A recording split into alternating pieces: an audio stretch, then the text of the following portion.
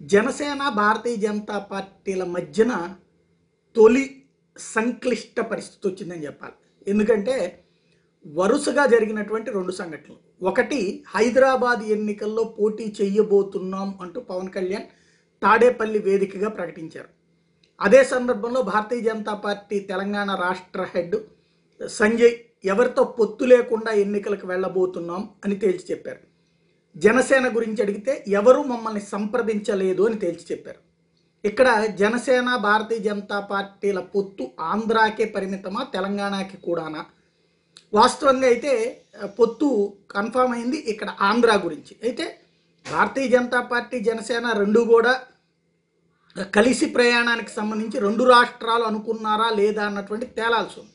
వాస్తవంగా పార్టీల పరమైనటువంటి పొత్తులు ప్రాంతీయ పార్టీలతో పొత్తులు వచ్చేటికి ఎక్కడికక్కడ ఉండే. ఇప్పుడు ఫర్ ఎగ్జాంపుల్ మహారాష్ట్రలో కలిసి పోటీ చేసినటువంటి శివసేన ఇతర రాష్ట్రాల్లో వాళ్ళతో కలిసి పోటీ చేయలేదు భారతీయ జనతా పార్టీ. అదే సందర్భంలో జేడీయూ బీహార్లో భారతీయ జనతా పార్టీ జేడీయూ కలిసి పోటీ చేస్తే మిగతా ప్రాంతాల్లో వే వేర్వేరుగానే పోటీ చేశారు. అక్కడ ఉండేటువంటి దాంట్లో ఒక సందర్భాలు ప్రత్యర్థులుగా కూడా పోటీ చేస్తుండే. ఒక్కోసారి కలిసి కూడా ప్రయాణం ఉంటుంది. ఇక్కడ విడిగానే ప్రచా పోరాటం చేస్తారని లేదు కలిసి కూడా ఉంటుంటుంది. బలాబలాలని బేస్ చేసుకుని ఉంటుంటుంది. తెలుగుదేశం పార్టీతో కూడా గత ఎన్నికల సందర్భంగా చెక్ చేసుకుంటే ఏది ఆంధ్ర ఏది రెండు వేల పద్నాలుగులో మాత్రం రెండు చోట్ల కలిసి పోటీ చేశారు.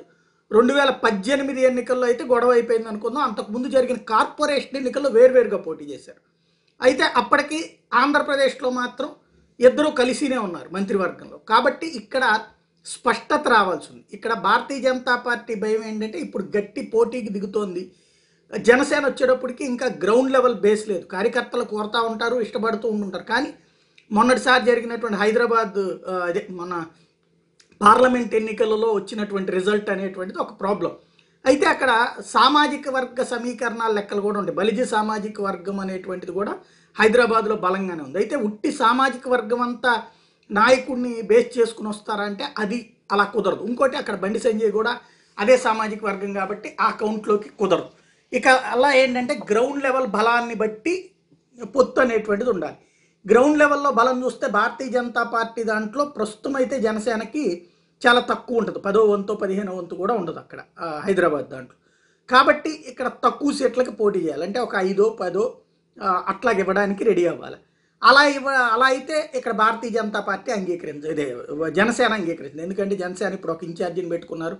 ప్లస్ ఓ యాభై డివిజన్ల దాకా అనౌన్స్ చేసుకున్నారు కాబట్టి కనీసం ఓ యాభై కావాలంటారు. వీళ్ళకి యాభై ఇస్తే కనుక ఇక్కడ మెయిన్ స్ట్రీమ్ ఎగిరిపోయేటువంటి పరిస్థితి మొన్న ఉత్తరప్రదేశ్లో సమాజ్వాదీ కాంగ్రెస్ పార్టీల పొత్తు బీహార్లో సమాజ్వాదీ జేడీయూ ఆర్జేడీను కాంగ్రెస్లో పొత్తు లాంటి కాన్సెప్ట్ అవుతుంది.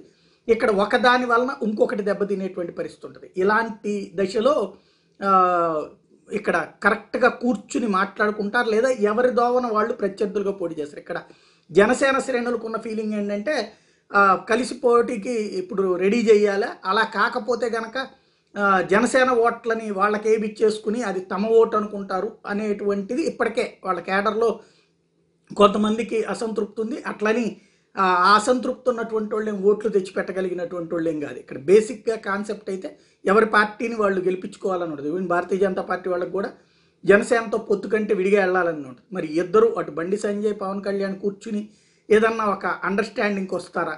ఇక్కడ తక్కువ సీట్లకి రెడీ అంటే కనుక మేబీ అండర్స్టాండింగ్కి రెడీ అవ్వచ్చు. తక్కువ సీట్లకి రెడీ అవ్వడానికి జనసేన సిద్ధంగా ఉందా? లేదా పొత్తు అనేటువంటి తెలంగాణలో ఉండదు. గతంలో తెలుగుదేశం పార్టీతో కూడా పొత్తు తెలంగాణలో లేదు కాబట్టి అదే తరహాలో పొత్తు ఆంధ్రాకే పరిమితం అన్నటువంటిది స్పష్టత ఇస్తారా అనేటువంటిది రానున్న రెండు మూడు రోజుల్లో తేలుతుంది. లేదు అంటే కనుక అక్కడ ప్రత్యర్థులుగా పోటీ పడేటువంటి పరిస్థితి అవుతుంది. అప్పుడు ఏం జరుగుతుందో చూడాలి.